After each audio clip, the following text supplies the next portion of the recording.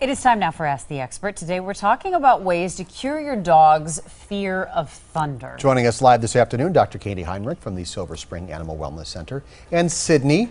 She is a four-year-old husky cattle dog mix. Yeah, apparently a lot of this happens to a lot of dogs. They get stressed out, scared. They can even Mm-hmm. injure themselves during thunderstorms. Yeah, I've had dogs go through plate glass Yeah. windows, and so yeah, that's not a good thing. So how do you, how do you calm Sydney and, and dogs that, that get really freaked out by this? So uh, the very first thing that you want to do trying to escape right now. closest to her mother that way.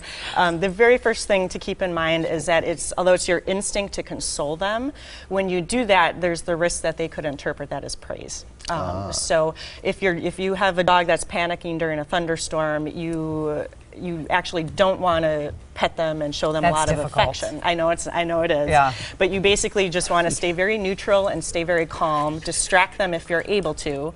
With a toy or a with treat a or toy. something? Yeah, Or a treat's rewarding. Yeah, you don't want to do Okay. a treat. Treat would be rewarding, but probably the biggest thing is if you have a dog that's just kind of beyond being distracted, is to provide them a safe place to go, which could be a basement, could be a bathroom, could be their crate if they're crate trained and comfortable in their crate, um, and just kind of allow them to hide out and stay there and just not try to pull them out, not try to engage them overly, just let them hide out. Do you want to slip your dog maybe half a Benadryl or something in a situation like that? Um, you want to talk to your vet before doing anything like that, but there are definitely uh, medications that we can use if the anxiety is extreme enough.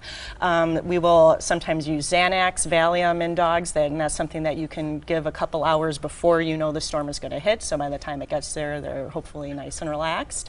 Um, there also are, are products like um, one brand is a Thunder shirt, but there are many other brands out there that are basically compression wraps. So they look like T-shirts that are very tight around their torso, and we don't know exactly how they work, but dogs seem to like that effect of just being hugged by something.